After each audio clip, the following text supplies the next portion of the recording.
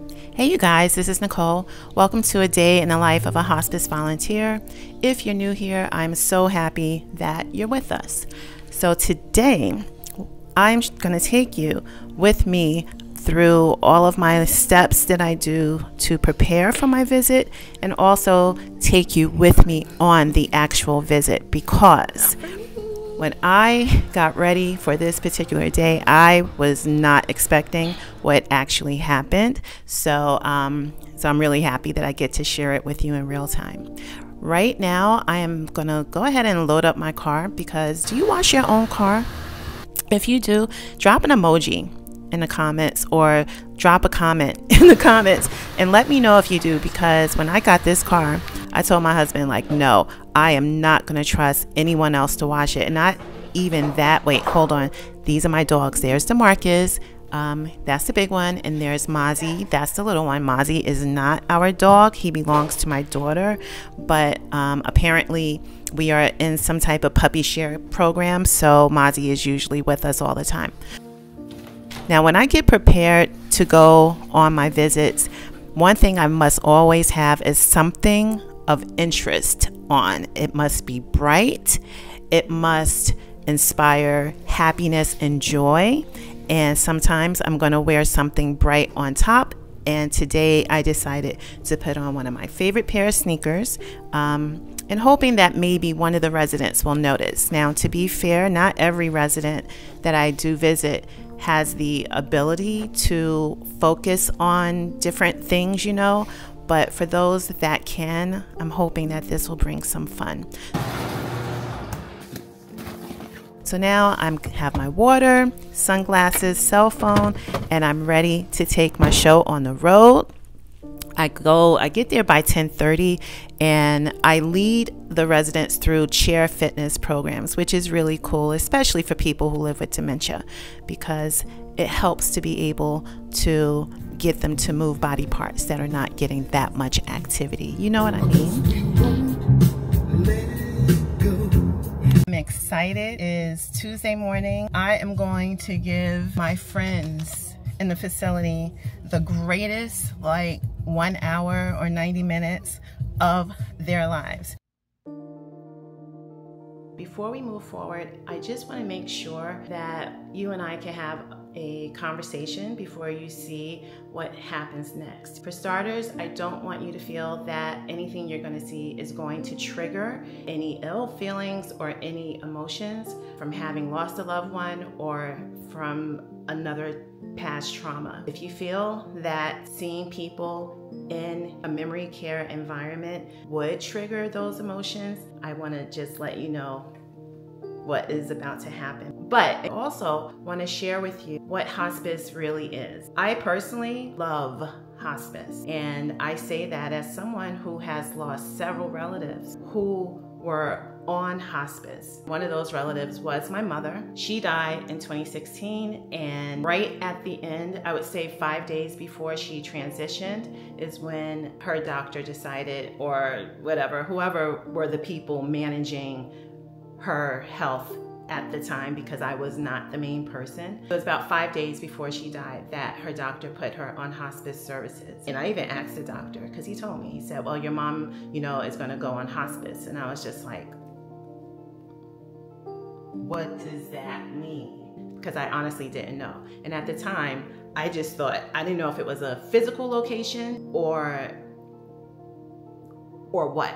I knew that it meant death was imminent. Well, fast forward a few more years, my husband's mom, she too was at the end of her life and she went on to hospice. And I think that it was her journey that was the first one that kind of gave me a better idea of what hospice was because on the day that she died, I wasn't with my husband when it happened. And one of the first people to show up to support my husband was someone from the hospice team. So when I decided to volunteer at the end of 2023, hospice was right on top of that list. I will never forget how comforting it was for me to know when I was speaking to my husband when he was in emotional distress and he felt comforted and supported because someone was there from hospice.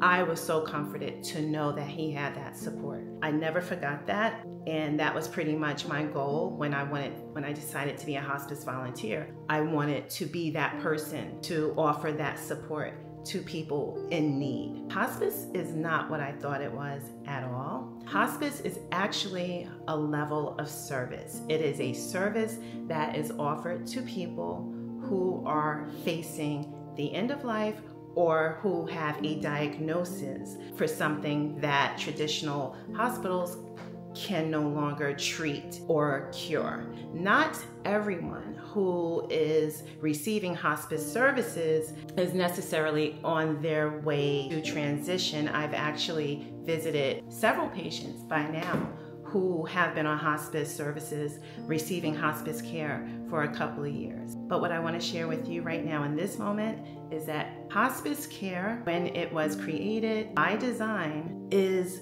a holistic support system for the person and also for their loved ones. What happens is a person receives hospice services, and with that service, that patient will receive a team of people to support them. And it's called an interdisciplinary team. And on that team, you have your medical doctor, you have a registered nurse, you have a chaplain, you have a social worker, you have a home health aide or a CNA, you have a volunteer, which is where I fall in, and you may have other people on the team. I'm just talking off the top of my head. And of all the people on the interdisciplinary team, the volunteer is actually the only person who shows up to support your loved ones without getting paid. Hopefully, that's because the person in that position really wants to be there because it's heart centered for them. Now, I can't speak for every volunteer, but I can certainly speak for myself because I have been volunteering for almost a year now.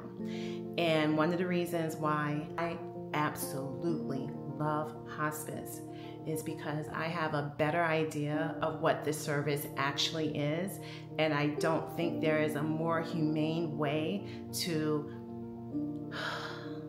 to support someone during a time in their lives where most of us, all of us, are fearful of and have very little knowledge about.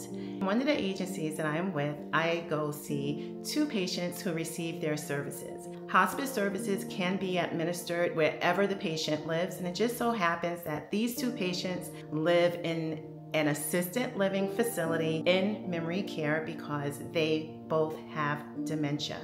When I go to visit them, I usually sit in a group setting um, you know, because it's a group of people. I lead them through some exercises. So even though I'm a volunteer to lead them through these group activities, anytime that I show up, I always read the room and I kind of get a sense of how people are feeling because some days are better than others. And on this particular visit, I actually had a visit that I was not expecting, something that has never happened to me before, and I happened to catch it all on my camera. This is truly the most beautiful hospice visit I have ever had, and I pray that seeing this moment will give you hope, put a smile in your heart, and will inspire you to give to a loved one. Just love on a loved one. If you or your loved one has any questions about anything regarding hospice or dementia or caregiving, please reach out to me. I would be more than happy to help you. And if I don't know the answer, I'm pretty sure I can point you in a direction to find it.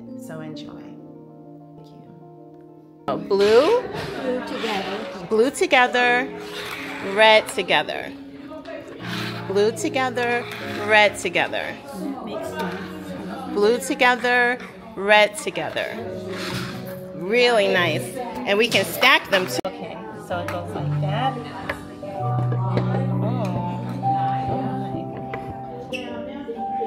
How about where would you like, which circle would you like to put your next Oh, that's a great one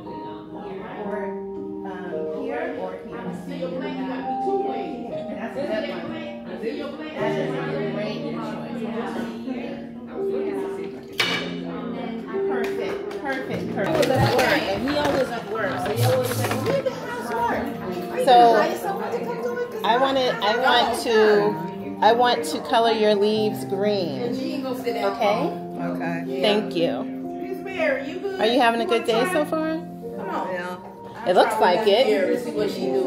Thank you. I know everyone is happy to see you. I can't really see the um, leaves, you guys. I don't have on my reading glasses. Oh, Oh. I know. I can't. I if I don't have my glasses on, I can't see them either. I mean, I can see them, but not in detail. No, Simone, you don't have to worry about this for many, many, many, many years. I, I wear glasses, but I just don't wear them. oh, really? Yeah. So you don't need your glasses? No, I don't think Girl, I can't. I can't walk away. Your doctor thinks you need your glasses? They said I need it because I have headache, often headache. But I'm blind as a bat. I still. How many hands? Look, look. oh, no, you're OD now. These glasses ain't no good, girl. All the balance making it work. one day, one day ain't gonna make it. I used to have um, Big old eyes. contact lenses. I wear contact lenses, and I used to have contact lenses where the bottom half Miss Mary, you ready? were readers, right? It was strong enough for me to read. But then I have a different optometrist now, and she's not really good at her job. So now she, I'm back in my reading glasses. Aw. Yeah, it sucks, Simone. But it's whatever. I don't care. Here. So now I am going to fill this color in and maybe we should do your favorite color. Maybe we'll fill it in with your favorite color. Why not? What is your favorite color? Oh, you your your favorite color? Hers, purple. Oh. You been around us too long. Is that it? You like purple? What color was your favorite color? If I would say, if I would say, I would say green. She loves green. Green, yeah, that's a beautiful color. I'm joking. You should tell me I'm, I'm just being a hater. Who was that cute little boy I'm not sure. Who is who is the little um our little visitor friend? I'm coming. That's her I'm coming. son. I'm coming. Miss Gigi. What's up, Miss Mary? Oh, that's Miss Gigi's son. Yes, he's visiting and he's helping us today. Well, he was. And he's what? Helping us today. He's helping us. Yeah. We are so lucky to have so much help. Your turn or my turn? My turn or your turn? Hmm? The little boy over there. My daughter young coming to work with me one day. She was like, uh, uh I'm not coming back. Oh my Never take me back. Oh my gosh. I have to take her to the doctor. Both things. Both papers. Yeah. Is this their attached? Oh, I see. Yeah. Okay. Yes. And just put the arm onto the paper and fix it. I don't know how you're gonna fix it. I can try. How about if we do this? I love that. I love that. I love that. I love all the colors. Is that better? It's okay. It's okay? Okay, let me try something else. It's not, it's not showing two sheets. Right. And we want. Enough. We don't want to have nothing to do with each other no more. What do you think about that? But I still love you though. Do you love me? Of course. For how long? Oh, Couple most of my seconds. Oh. Rest Oh. of your life. Oh my god. You just warm my heart. We love you, Ann. Oh, we love you. Look at that face. You give me a nice warm heart. But, but do you really mean it? Well, yeah. That made me feel much better.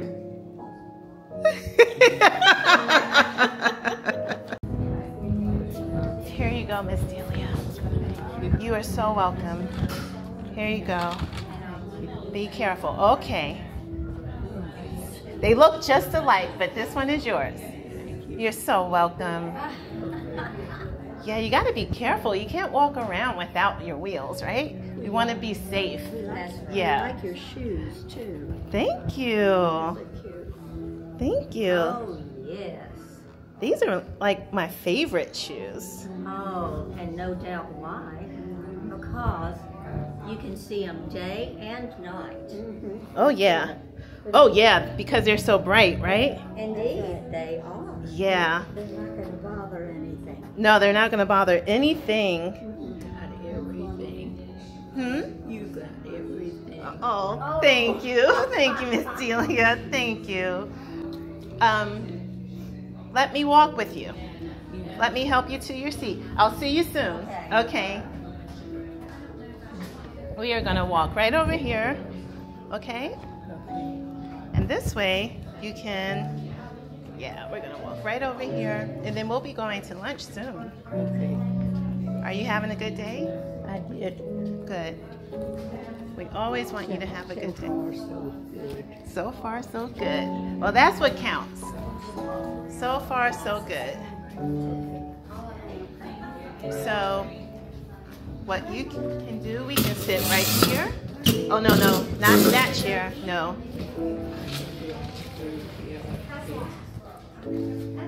You want to keep going? Okay. Here we go. We're going to go this way. Here it Yep. Here it is. Yep. Here it is. Is she One okay second. As far as, There it is. Um, We're going to keep going this is she way.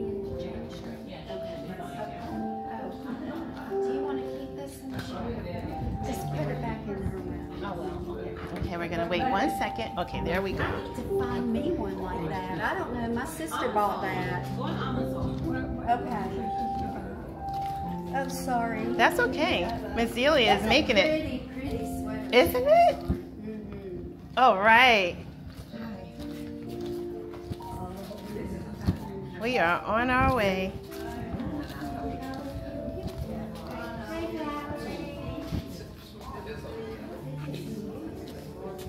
Right. Okay. Have to push them in the right direction. Yep. Miss Delia is on her way. She looks like she's making it. Okay. Great. Great.